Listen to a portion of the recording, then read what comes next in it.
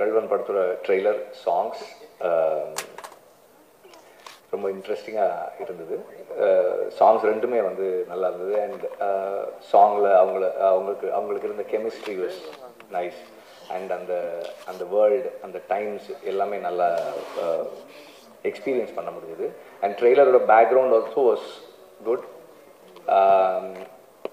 ஒரு இந்த இந்த ட்ரெய்லர் பார்த்து இந்த படம் பார்க்கணுன்னு ஒரு ஸோ எனக்கு ஒரு ஒரு கியூரியாசிட்டி க்ரியேட் பண்ணுற மாதிரியான ஒரு இன்ட்ரெஸ்டிங்கான ட்ரெய்லர் இந்த படத்துக்கும் எனக்கும் ஒன்று ரெண்டு தொடர்புகள் இருக்குது நான் வந்து முதல்ல விடுதலை படத்துக்கு பாரதி ராஜா சார் தான் நடிக்கணும்னு சொல்லிட்டு அவருக்கு போயிட்டு லுக் டெஸ்டர் எல்லாம் பண்ணேன். ஹேர் எல்லாம் ஷார்ட்டாக கட் பண்ணிவிட்டு அப்புறம் அந்த லொக்கேஷன் பார்க்க போனேன். அந்த டெரெயின் ரொம்ப இதாக இருந்தது.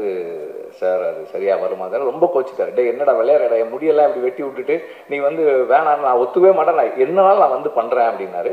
இல்லை சார் வேணாம் சார் அப்படின்னு கொஞ்சம் அவாய்ட் பண்ணிட்டேன் நான். அதுக்கப்புறம் கொஞ்ச நாள் கழிச்சு டேய் நீ வேணாம் நல்லடா. படுறா இந்த இதே கெட்டப்பில் என்னை ஒருத்தன் வச்சு படம் எடுக்க போகிறான்டா அப்படின்னாரு. அண்ட் அது கல்வன். அண்ட் இன்னொரு இன்ட்ரெஸ்டிங்கான விஷயம் என்னென்னா நாங்கள்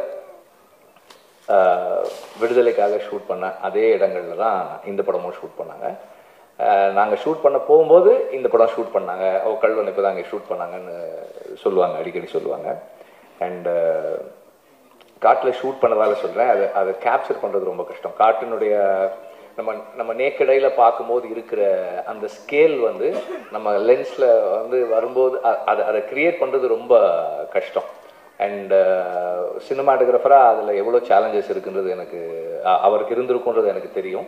பட் இந்த ட்ரெய்லரில் வந்து அவங்க அதை கேப்சர் பண்ண ட்ரை பண்ணியிருக்காங்க அது அவங்க வந்திருக்கு. அது அந்த அந்த காட்டினுடைய தன்மையை நம்மளால் உணர முடியுது.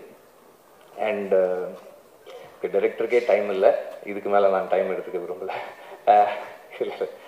அஹ் இ- இந்த இந்த படம் ஒரு ஒரு பெரிய சேலஞ்சிங்கான ஃபில்மாக இருந்திருக்கும் எஸ்பெஷலி ஃபார் த டிரெக்டர் ஏன்னா வந்து ஒரு படத்துக்காக காத்திருக்கிறதுன்றது வந்து மற்ற எல்லாரை விட ஒரு ஒரு டைரக்டருக்கு எஸ்பெஷலி ஃபர்ஸ்ட் படமாக அது இருக்கும்போது பெரிய challenge to sit on a film for ஒரு ஒரு ஒரு வருஷம் ரெண்டு வருஷம் அப்படின்னு அது அது கூடவே உட்கார்ந்து இருந்து ஏன்னா நமக்கு என்ன ஆகும்னா ஒரு ஆறு மாதம் வரைக்கும் நம்ம படத்தில் நம்ம கான்ஃபிடெண்ட்டாக இருப்போம்.